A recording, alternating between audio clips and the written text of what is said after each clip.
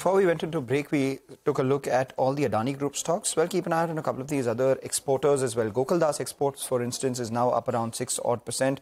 A big mover in this week, up around 11% and doing extremely well. We have some updates coming in on account of Route Mobile. They've partnered with Voda Idea to provide A2P SMS monetization solutions, as a result of which that stock has moved higher, up about 2%. But the one which is taking uh, your breath away is the new listing, Concord Biotech, up almost 26%. Uh, it debuted at a 21% premium on the exchanges itself. Ekta, this RJ-backed company making money. Yes, absolutely. Uh, you know, it is interesting because I was reading a couple of reports uh, before the listing, and that indicated that maybe this particular IPO, in terms of listing, is not going to see that much interest. But uh, to the contrary, it's gained around 20 odd percent on uh, listing days. So it's been a good listing for this particular company. It's an API company. Uh, it is an RJ backed company where there are various entities which hold a total of 24.09% stake in that company.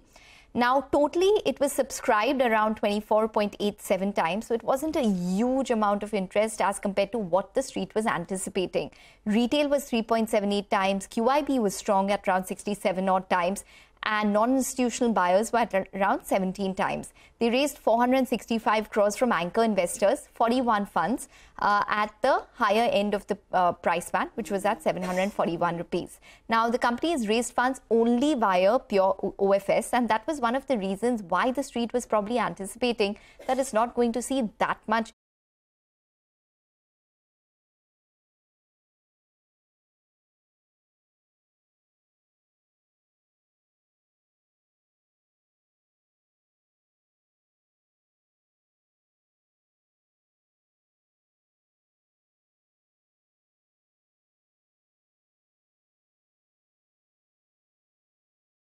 sent by volume in 2022 across certain fermentation based APIs.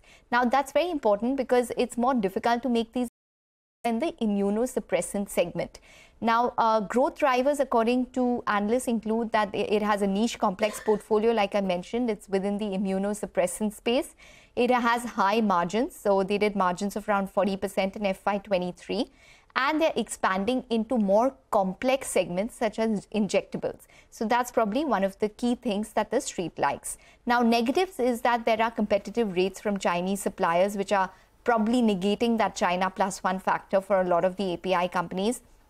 And a lot of companies do still have high cost inventory which needs to be liquidated. So that is something to keep a track of. But overall, it's been a good performance in terms of revenue growth as well. It's been 20% higher in FY23. EBITDA is up around 25%. Like I mentioned, margins of 40%. And the profit growth has been 37% on a year on year basis as well. So overall, it's a company which is uh, operating in niche APIs. It has uh, big names behind it and it's seen a good amount of interest from the QIB uh, segment. All right, Ekta. That's about uh, Concord Biotech. Just keeping an eye out on Sula, and that's. Uh